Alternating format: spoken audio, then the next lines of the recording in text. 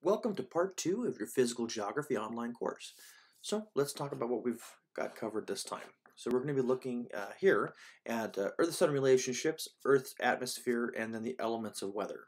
So really everything that's dealing within these three units that we're going to be covering, units 5, 6, and 7, really introduce us to our day-to-day -day atmospheric conditions and also then learning about our long-term climatic conditions. So the first part, Unit 5, is discussing the Earth-Sun relationships, the reasons for the season. Uh, we do receive energy from the sun uh, because of the uneven heating of our Earth's planet. Uh, we then create weather, and then because of climatic trends, long-term trends, we can then see that we have a climate and when it does begin to change. So what's really interesting about uh, first Unit 5, uh, to just really talk about what I think is interesting, is that we are tilted at 23 and a half degrees, and then that tilt continues as we you know, obviously rotate around the sun. That being said, there are some times when our northern hemisphere is tilted towards the sun. There's also some times when we're tilted away. Obviously, when we're tilted toward, we have longer days because more of the Earth is going to be exposed when we're facing towards the sun and also away. Now, what's interesting about this whole concept is that, yes, this is summer, that would be winter, because remember, this is our northern hemisphere. But we're actually quite far away at this time of year. And when we're away from it, we're actually a lot closer. So you would think that because we're close to the sun, that should be our summer, but in reality, it's our winter. It's, you know, sure, we are closer to the sun by a lot. I think it's like four point something million kilometers. But the reality is that we have shorter lengths of day. So, mm, you know, shorter lengths of day, longer nights. Days when we warm up, nights when we cool down. Since we have longer cooling events, then therefore that would work out also be part of our winter. So we'll learn about the reason for the season is actually the tilt. Uh, as you can see, there's additional in-class multimedia. All of those videos I show in my face-to-face -face classes, I highly suggest that you check them out.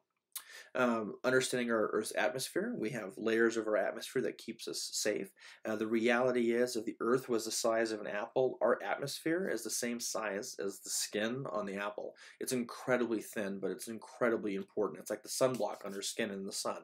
It's able to then absorb and reflect most of the really bad radiation that comes from the sun that would otherwise not allow for life to even exist we have different layers. Uh, we start with the tropo, strato, meso, the thermosphere. Those are our four layers of our atmosphere. Then the exosphere, which is exit. It's beyond that. Each layer is very important for what it does. Uh, certain layers allow us to have weather, other layers uh, warm up because they absorb ultraviolet radiation that would otherwise harm humans and all vegetation and life. We have other layers that are prominently known for uh, burning up asteroids and meteors, and then we have some others that just reflect and absorb other attributes. So nonetheless, you're going to learn a lot about the different layers of our atmosphere. We'll also begin to introduce the different gases that are involved. We think that obviously, you know, oxygen is what we breathe the most of, but the reality is, is 78% of that breath is really nitrogen, and we're looking about 21% of it being oxygen, and then that remaining 1% is everything else, including our greenhouse gases. Um, since I've kind of mentioned weather already, I think it's also interesting and important to bring in the fact that we have weather. Weather is the day-to-day uh, relationship and interaction of our atmosphere. What's happening today? It's rainy, it's hot, it's stormy. When we look at climate, climate's very different. Climate is long-term data. So let's say that today is December 16th. If I look at 30 years of data for my hometown on December the 16th and I average it out, I would say the climate of my hometown is this because I'm looking at 30 years of overall data. So when scientists say that climate is changing, it's not a day-to-day event. That's extreme weather. When we say that there is climate changing, that means that it's very different today than what it was 30 years ago, and we can track that trend and see that there's been a slow trend of change. So that's climate change. It's, you know, I think that we hear lots of different people talking about what it is or what it isn't, but the reality is climate means it's 30, 30 years of data that has been compiled to understand a generalization of that weather.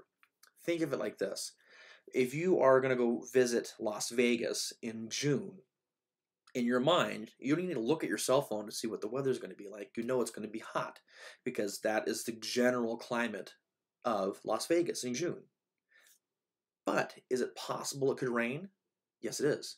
Is it possible it could be cold? Yes, it is. But we know that generally it should be warm in June when you go to Las Vegas because that's kind of like a general trend. It's a general idea of those experiences. Um, so then you move into the elements of weather. You'll start to talk about the Coriolis effect. You'll talk about how different types of storms work. Uh, you know, not just um, rain itself, but learn about the three uh, families of clouds. Based, you know, clouds are classified based off of their shape and where they are in the alt, you know, altitude wise.